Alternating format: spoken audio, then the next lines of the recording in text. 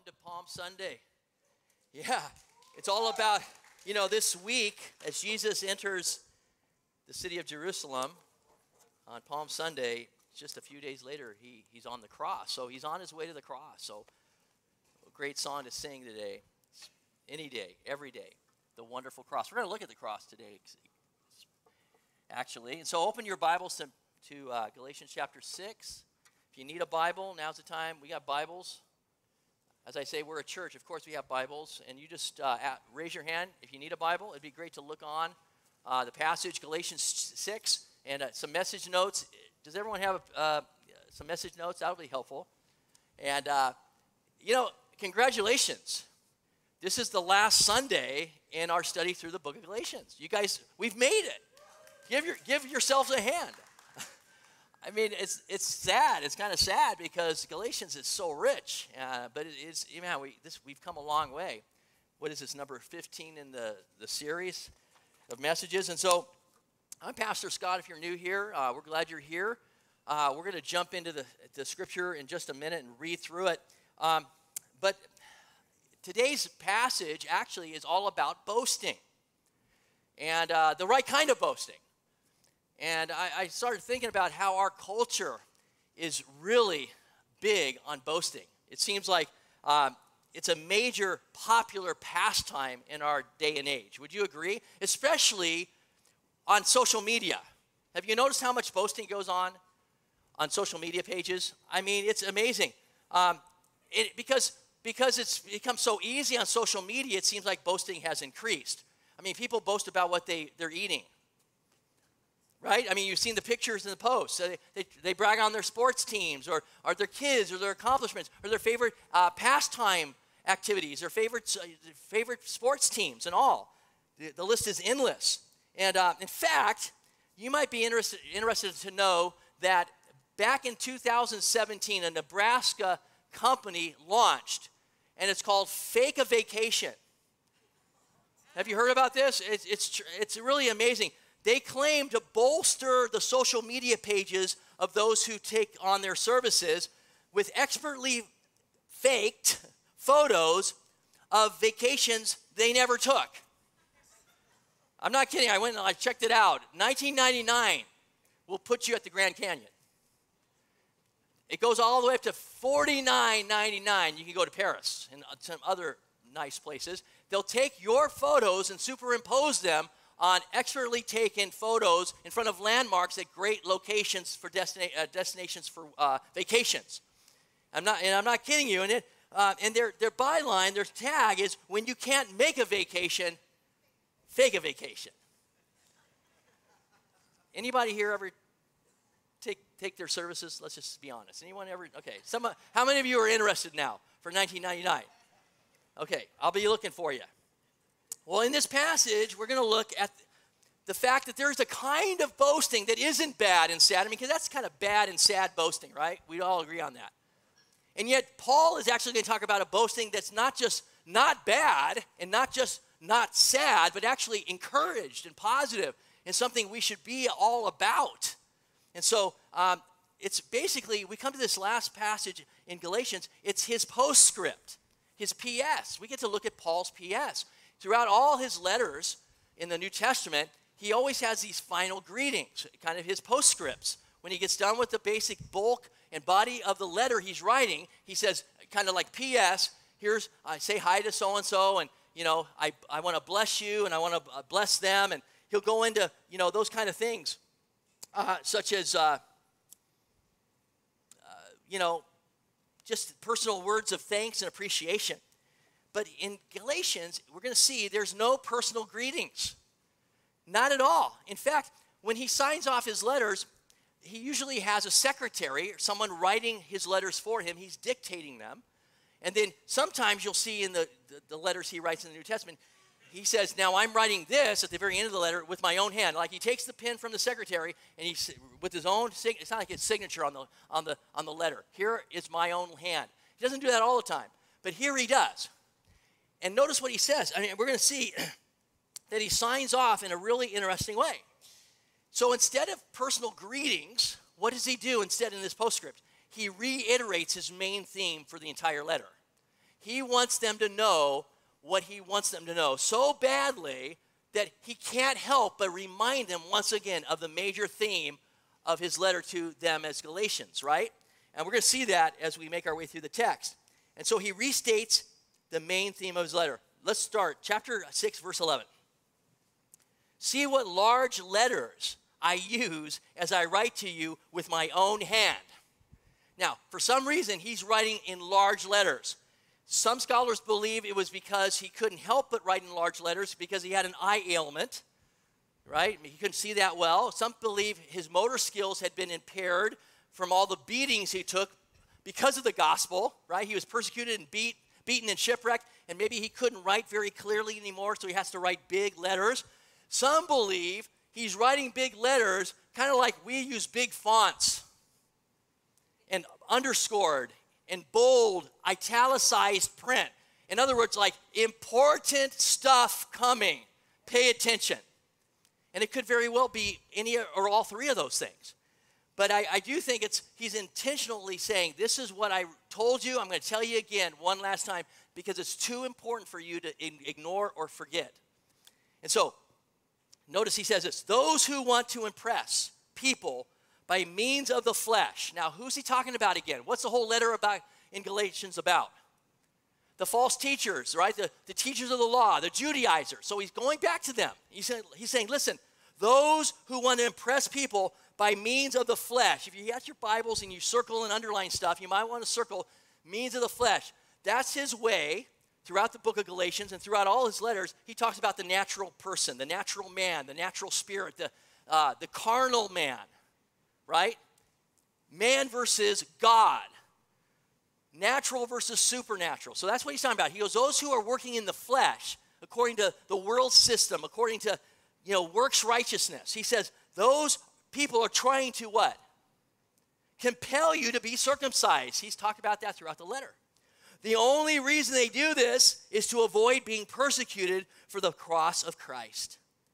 Not even those who are circumcised, those guys telling these other people to be circumcised, they don't even keep the law themselves, yet they want you to be circumcised. Why? What's, what's he go, to, go on to say? That they may boast about your circumcision in the flesh. And then he says this. So there's that's the wrong kind of boasting, right? Then he turns the tables and he says, May I never boast except in one thing. Except in what? The cross of our Lord Jesus Christ, through which the world has been crucified to me, and I to the world. Neither circumcision nor uncircumcision means anything. What counts is the new creation. Peace and mercy to all who follow this rule. To the Israel of God, from now on, let no one cause me trouble, for I bear on my body the marks of Jesus. If you want a list of all the bodily marks he received because of the gospel, check out 2 Corinthians 11 sometimes. He goes on and on about all the different things he suffered. It's quite an impressive list. He says, Hey, I, you guys are doing this mark of the circumcision, and they want to do it in the bodies of the people. I've got the marks of Jesus on my body. So listen to what I'm saying. And then he says, The grace of our Lord Jesus Christ be with your spirit, brothers. Let's pray. Father, we want to understand what Paul's boast is all about, what we can be boasting in today. Father, thank you for the wonderful cross. May we understand it even better today because of the time we spend in your word. May it change us and transform us and help us to live lives that would glorify you. We pray it all for the sake of Jesus. Amen. So today, we're going to look at some of the most practical, helpful, useful truths that can help us live a life that glorifies God, that helps us live a life, the life we've been designed and called to live. So you might go, okay, we're going to talk about the cross. Yeah, we're going to talk about, we're going to talk about the cross. But don't check out. Don't say, I know about the cross, because we don't know about the cross. We know about the cross maybe this much. If we know anything, we know about this much. A lot of people don't even understand the cross. But you're a follower of Jesus, you know about the cross. And yet, we can always go deeper in the cross. So that's what I hope, hope and pray we'll do today as we dig into this passage. So, did you catch the boast of Paul you might want to circle it, underline it. Verse 14. Did you catch it? It's, it's the pinnacle. You're taking notes, write this down. Pinnacle of Galatians is verse 14, I believe. Many others believe it too.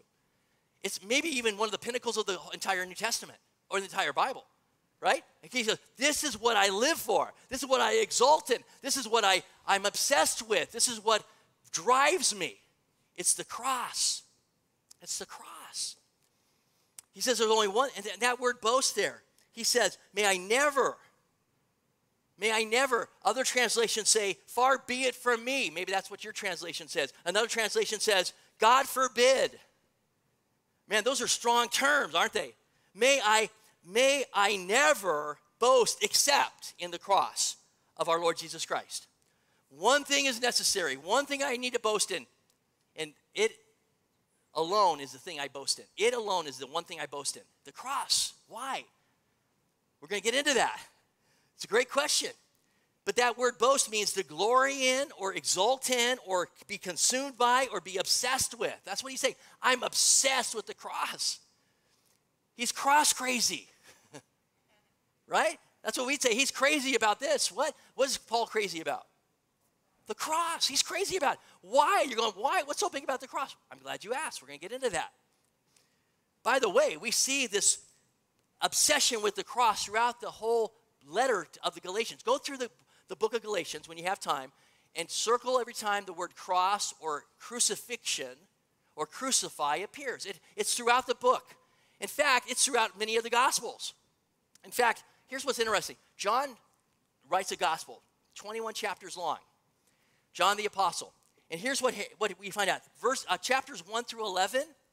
You know what John talks about for ver- chapters 1 through 11? It's all about Jesus' life and ministry.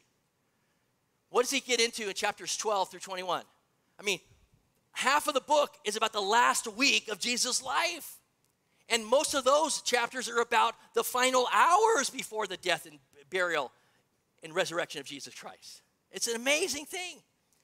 Um, Gospel of Mark, the same way. You have 13 chapters, all taking snapshots of Jesus' life and ministry. And then chapters 14 and 15 come along, and Mark slows way, way down and slows the, slows the train and says, We got to really look at the final hours of Jesus' life. Why? Because it's the most important thing in the universe what happened on the cross. Today, we're going to look at two basic things in this text before us.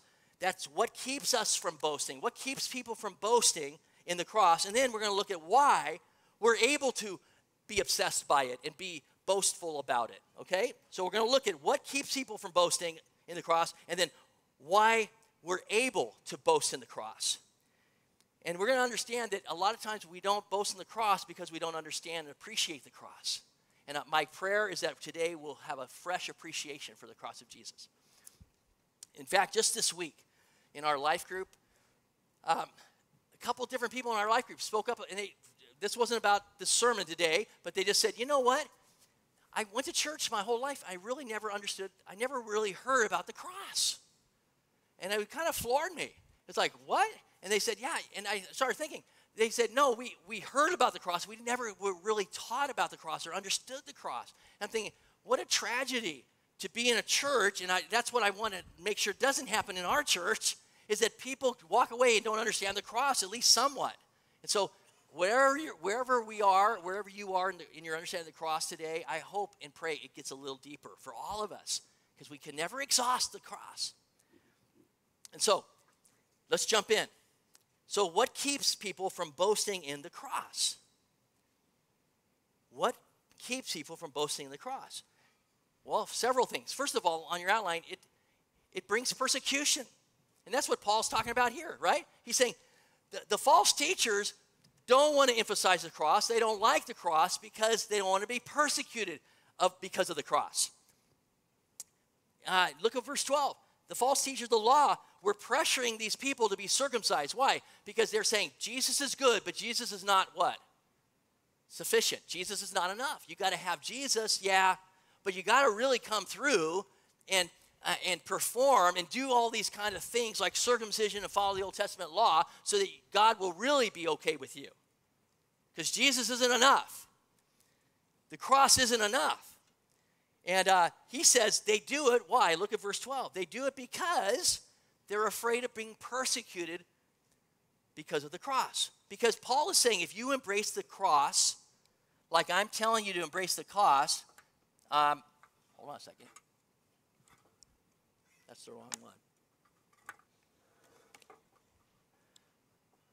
He's saying if you embrace the cross like I'm talking about, you're going to be persecuted. Right? Write this down on your notes somewhere if you're taking notes. Expect persecution. Expect it.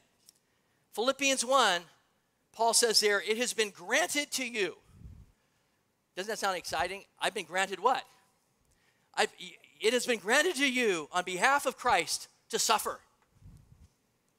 I love the way he puts that because it's like, oh, I've been granted what? Oh, to suffer. Yeah, expect it. We're identifying with a Messiah who's been mocked, beaten, scourged, spat upon, and finally nailed to a cross. What else should we expect if that's our leader? Right? Stephen, at the hands of Paul, was the first Christian martyr, someone who died for their faith in Jesus and his work on the cross. And then Paul, who's there at the stoning of Stephen, approving of it, later on, he gets a taste of his own medicine, right? Uh, well, he gets mouthfuls of his own medicine, right? Check out the beatings I've received on my body, he says. Second Timothy says this all who desire to live godly lives in Christ Jesus. How many of you, by the way, don't raise your hand, I don't want to embarrass anyone, but if you could say yes, raise your arm in your heart. I want to live a godly life in Christ Jesus. Okay? That's hopefully many of us, if not most of us. All who desire to live godly lives in Jesus will be, wait for it, blessed. He doesn't say that. We are, but he says there, will be persecuted.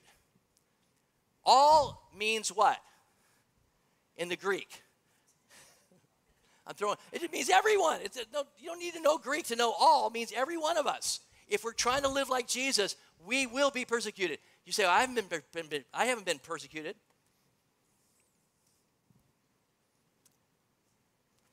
Have you been?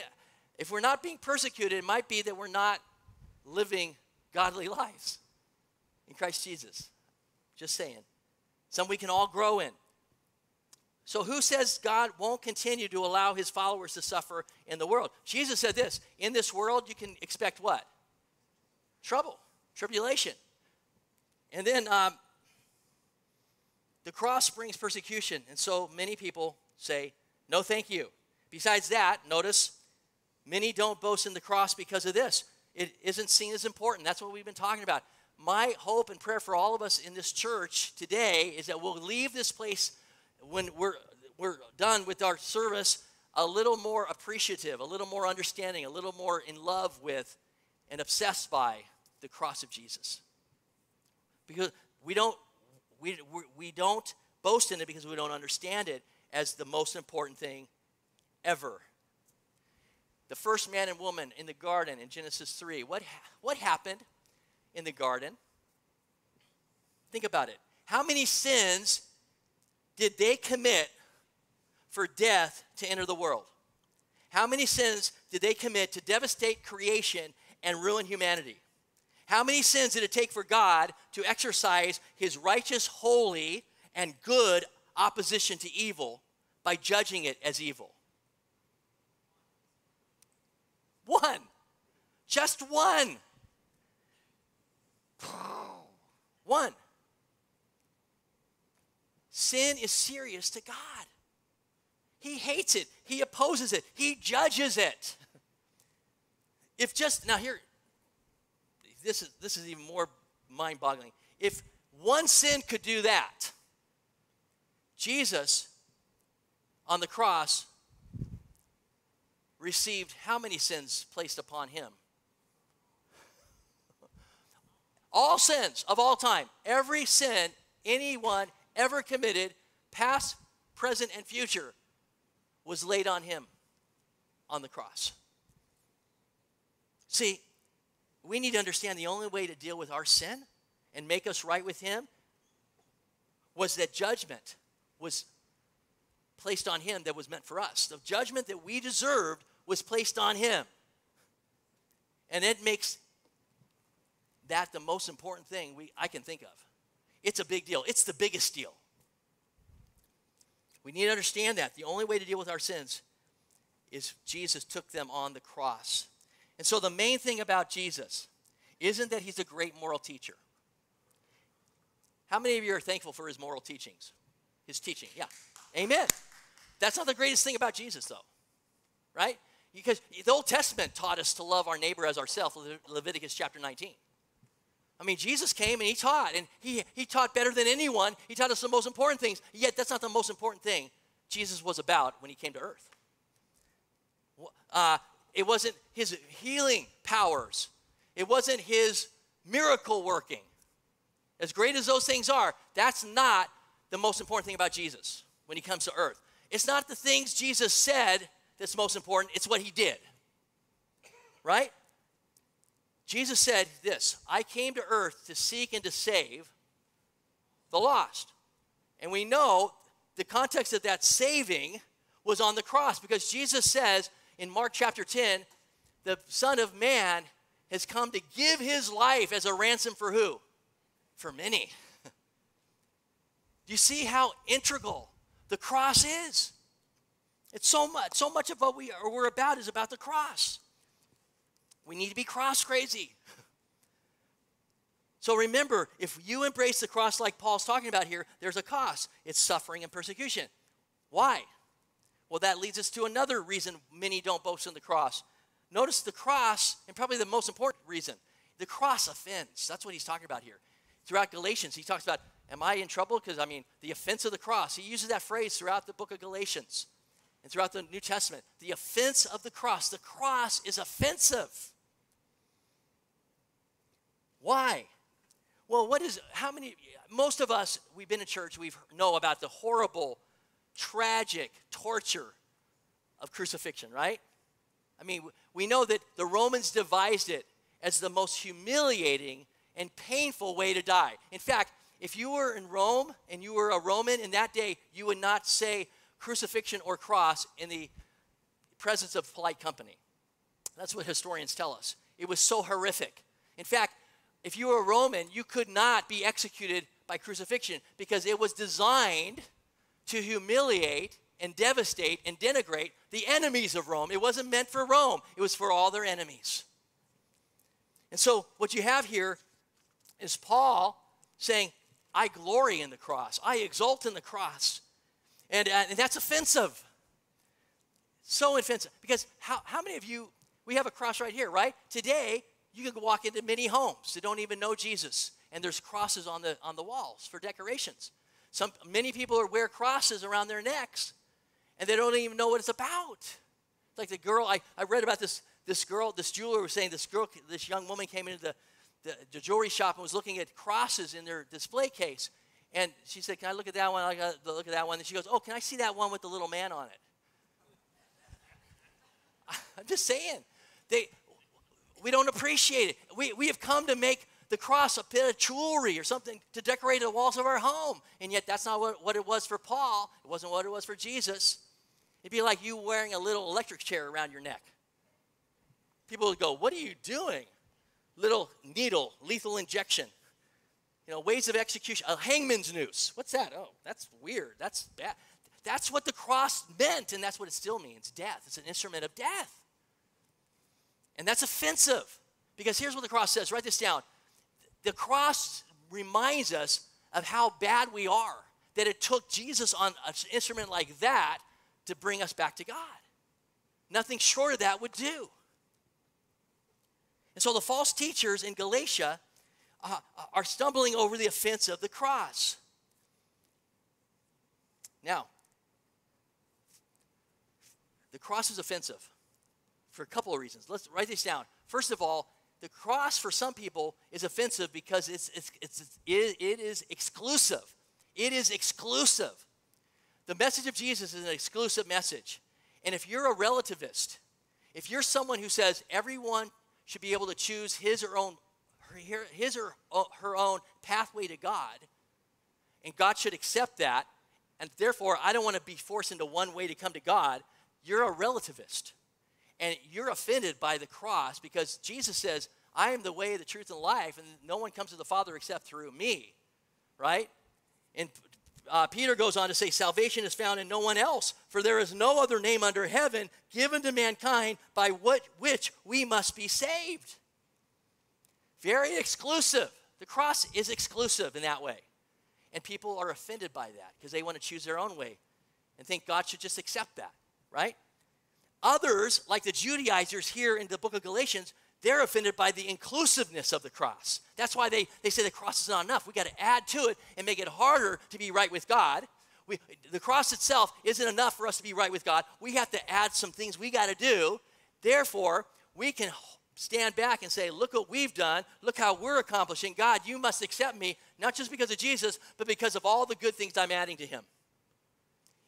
And so the cross levels the playing field.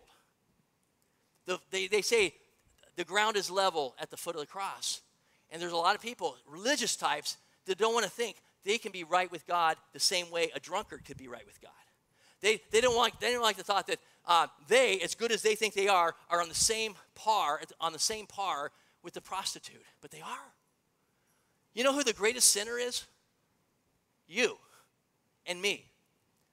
The greatest sinner to me is me. You know why? I know my sins better than anyone else does. Because they're deep inside of me, some, some of them are. We're all messed up. And we need the cross. And so, John Stott says this Every time we look at the cross, Christ seems to say to us, I'm here because of you. Look at the cross. Can you picture Jesus saying, I'm here on the cross because of you? It's your sin I'm bearing, your curse I'm suffering, your debt I'm paying, your death I'm dying. Nothing in history or in the universe cuts us down to size like the cross. All of us have inflated views of ourselves, especially in self righteousness, until we have visited a place called Calvary. It is there at the foot of the cross where we shrink to our true size. That's good. See, the cross has a bitter shell. It's offensive. And because of it, we're confronted with our weakness and our wickedness. We're confronted with the depths of our sin and our inability to make ourselves right with God on our own. Theologian Roger Nicole, for many years, uh, a professor at Gordon Conwell University, he taught many pastors that you probably know of in the world today. I mean, very, very influential, good teachers sat under his teaching. One of them is, was Timothy Keller, Tim Keller, and you, will hear him quote a lot. Uh, we, he, he, has so many great insights. Um, he tells a story that he heard uh, Nicole give, and I want to share it with you. Basically, the story goes like this: Say you're at you're outside your house because you're all watching your house burn. Your family is watching your house burn down and you're safely outside the house. All your valuables that you really need to make sure are out of the house are out. All your kids and family are outside the house, and they're watching. You're just watching your house burn down, and then your neighbor runs up to you and says, "Watch how much I love you," and runs into the burning house and dies. You think that is idiotic. No, he knows we're all safe and sound, but he goes, "I'm going to show you how much I love you." You'd go, "That's stu- That is that's lame. That's stupid." right? But he says, he, but the illustration goes, now imagine your house is burning, but not all the valuables you've recovered. In fact, you've got all your kids out but one. You're not able to get the last one out, and it's getting so bad. And your neighbor runs up to you then and says, Watch how much I love you. Runs in, saves your kid, brings your kids, your kid out, puts your kid safely in your arms, and then he expires. Your neighbor falls down dead. Whole different story, right? Whole different, you feel a lot different about your neighbor than that, right? And so the point is this if there was any other way for Jesus, for God to bring us back to, to Himself, besides the death of His Son on the cross, Jesus' death on the cross is just as lame as that neighbor running in and saying, Look how much I love you. He died for no purpose, right? That man, that's that's so good. It's so true. If anything short of the death of Jesus was enough to get us back to God, would God have ever sent his son? Jesus' death makes no sense unless it's our only hope. And so let's consider now why should we boast in the cross? Those are reasons we don't boast in the cross. We don't understand it, we don't appreciate it, we're afraid of persecution.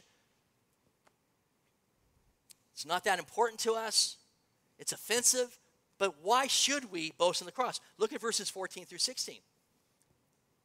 Well, first of all, verses 15 and 16, he says this Neither circumcision nor uncircumcision means anything.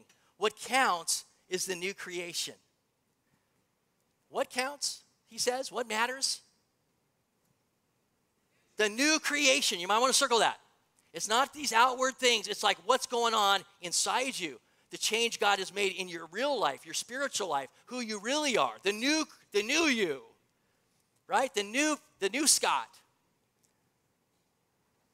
Right? It's, it's what he's doing in you. See, we don't need just to turn over a new leaf, folks. No, we need a whole new life because our need is not partial, our need is total.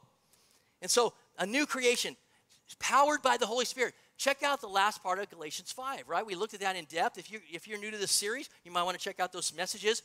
The last half of Galatians 5 is all about life in the Spirit. So notice, new life, new creation, empowered by the Holy Spirit. And it produces something. Notice what the text says. It produces, look at those words, peace and mercy. That peace and mercy, folks, is conditional, right? It's not like, oh, God just gives peace and mercy to anyone. It's those who embrace the cross those who live by the Spirit. They get to experience peace and mercy. Peace and mercy to all who follow this rule, to the Israel of God. And notice this is lived out in, in the new community. He says the Israel of God. Why does he put that in there? Well, throughout the New Testament, we see that God is about making one new man, one new community.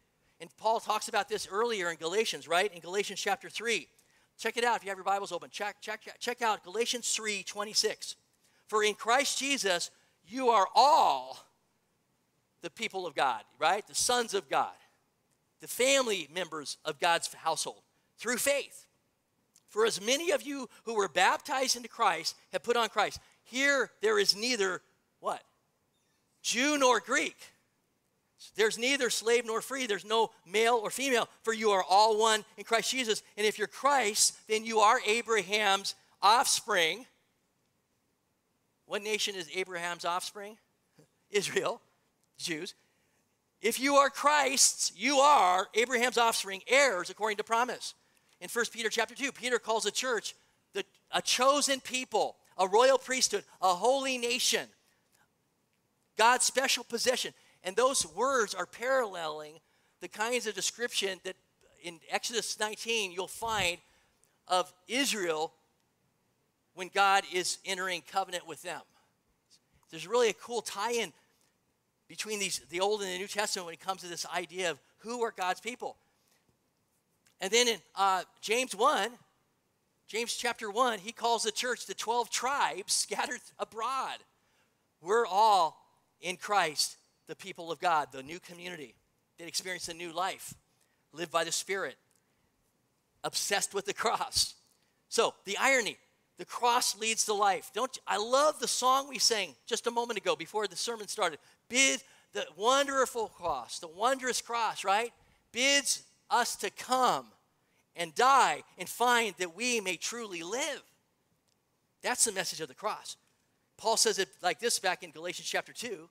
I have been crucified with Christ, and I no longer live, but Christ lives in me. The life I now live in the body, I live by faith in the Son of God who loved me and gave himself for me. Where did he give himself for us? On the cross. Are you getting cross crazy yet? I hope so. The, the, the cross also, notice this on your outline, gives new perspective on everything. The cross will change the way you look at your life, the way you look at the world, the way you look at anybody else in your life. So, what's the crossless? The crossless, the, the, the, the perspective that is void of the cross, what's that perspective? That's the, the perspective of the false teachers here in Galatia. They don't want to be persecuted. Why? They had a need to be accepted, liked by others, to build themselves up, to feel better about themselves so they can say to God, Look how good we are. And they want to show themselves as better than other people. Because again, if they could get the Gentiles to get circumcised and do all the outward trappings of the Old Testament rules and regulations, they could boast about themselves, right? They could say, Look at all these Gentile converts we convinced to be circumcised. Look how good we are. and show off their good works and thereby increase their right standing before God. But ta- Paul doesn't talk about that perspective. He talks about a Christ shaped, cross shaped perspective. Look at chapter, again, chapter 6, verse 14. The cross by which I've been what? I've been crucified to the world. He puts himself on the cross after Jesus because Jesus was, for our sake, being crucified. So Paul says, Man, I was crucified along with him on the cross. To the what? To the world. What's that mean? Does he not live in the world anymore? No, he lives in the world, but to the, the how, how many of you would love the world to be crucified? I mean, you're, you're sick and tired of being tempted and falling, and wouldn't it be great if God just killed the world off and let his eternal kingdom come. That's Paul's not saying that. Notice what he says. I've been crucified to the world. It's not the world's been as far as I'm concerned, I'm the world is dead to me and I'm dead to the world. That's the perspective that he's talking about, us adopting for ourselves. It's the world system. John Stott again says, previously, we were desperately anxious to be in favor with the world. But now in Christ, we have seen ourselves as sinners and Christ crucified as our sin bearer, we don't care what the world thinks or says of us or does to us. The world has been crucified to me, and I to the world. In other words, write this down. The world no longer has any claim on you if you're a follower of Jesus. If you're committed to Christ, the world, you don't have to think like the world thinks anymore. You don't have to live like the world lives anymore. You are free to live as a new creation. You are free to walk by the Spirit. You are now, the, the was it the shackles are gone? What was the song we sang? I've been set free. We just did that, right? The wonder. I've was that today we did that song?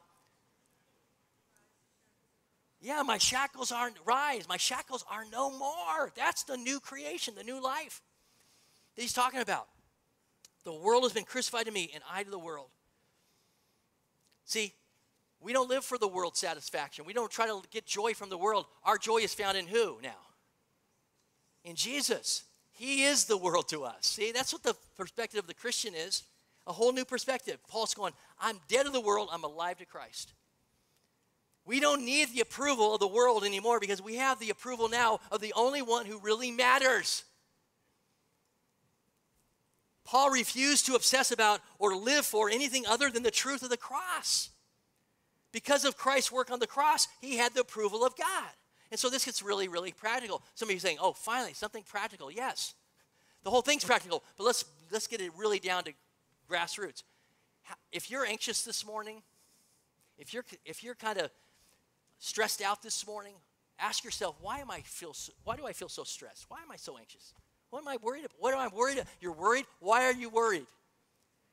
Most likely it's because you're not focusing on the cross of Jesus. Most often, and we all do this, we get our eyes off the cross and onto our circumstances. And our circumstances will keep us up at night. I guarantee you that. And yet, Paul's going, you know what? I'm not going to boast in any of those things. I'm not looking to those things as my ultimate sense or source of security and joy and satisfaction. I'm looking to the cross. And let me just say anytime you start feeling stressed or anxious, look to the cross.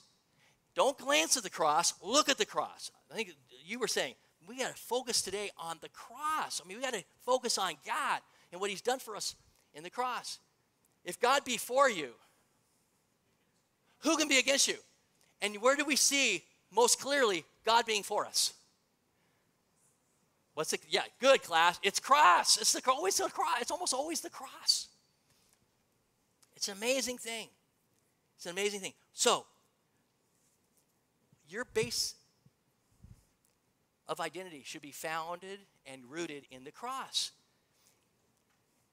Be captivated by his love displayed on the cross. Be mastered by that one great moment when the Savior of the world was nailed to the cross for you. And then what happens? We're freed up to enjoy every good and perfect gift that is only from the Father, from the Father above. James chapter 1 says. God gives us all these things to enjoy. See, until you have the cross perspective, all these other things will sidetrack you from the cross. But once you have that perspective, you can take all those things in with the right perspective and the right moderation. And that's the last thing. Notice this the cross, therefore, is the conduit for all that's good in your life. Every blessing, I'll turn back to praise, right? We sing that sometimes. Every blessing you pour out, I'll turn back to praise. Every blessing you have comes through the cross, right? Every blessing we, we, we enjoy comes through the cross. We tend to think God owes us or does we deserve certain things from God. God doesn't owe us anything but death and destruction. That's what God owes us.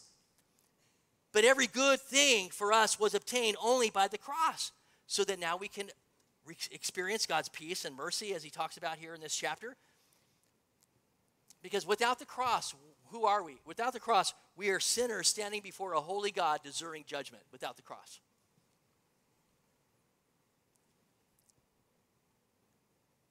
The cross is the channel of all that's good because Jesus took our wrath upon himself. Now we have the promises, right? We have the promises of God that all things work together for the good to those who love God and are called according to his purpose. Romans chapter 8. We have that. But it comes via through the cross and his sacrifice and us entering into relationship with him that he now blesses us.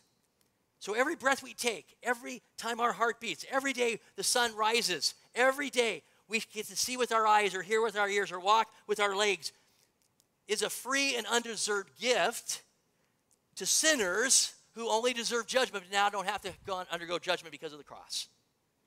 It all ties together. Paul's only boast was in the cross. What's your boast this morning as we move into a time of communion, a time of decision? Maybe you're here today and you need Jesus and you're going, wow, you know, I didn't realize the cross has so much in it. And maybe God's moving in your heart as we've been praying that God would move in all our hearts today. Maybe your decision today is I need to, I need to accept God's gift of grace and what He did for me on the cross. And you, you could do that right where you are. You could say, Jesus, as much as I know how, I accept what you did for me on the cross. You love me that much? You ran into the burning house to save me, and then you, and you died to save me? Oh, I'm all yours. I'm all in. If that's your decision, you could just tell that to God right now and let other people know about that. The Bible says, if Jesus says, if you confess me before others, I'll confess you before my Father in heaven. We'd love to come alongside you and know about that decision and help you grow and take steps uh, in this new life that He's given you as His new creation. But the, for the rest of us who know Jesus, this is what communion is all about. It's looking to the cross, right? We look to the cross, the wonderful cross. Here's why the cross is so wonderful it's God's love and God's judgment coming together. That's what happens at the cross. God's judgment against sin and his love for us sinners comes together on the cross. That's why it's wonderful. That's why we don't just look at the cross, we have to gaze at the cross. We have to drink in the cross, and that's what we get to do every Sunday. Every time we come around the Lord's table, we're, we should be drinking in the cross.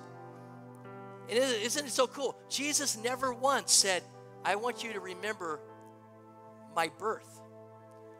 No specific places to say, celebrate Christmas. How many of you celebrate Christmas? How many of you love Christmas?